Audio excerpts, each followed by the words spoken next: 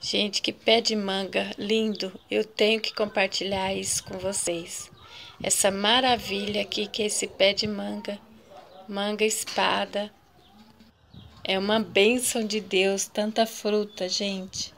Olha que maravilha.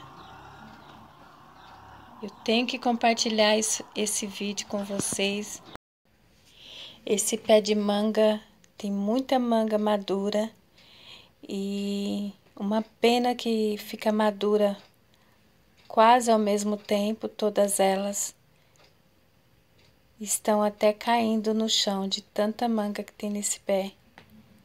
Que maravilha! É uma é uma benção de Deus, é uma perfeição.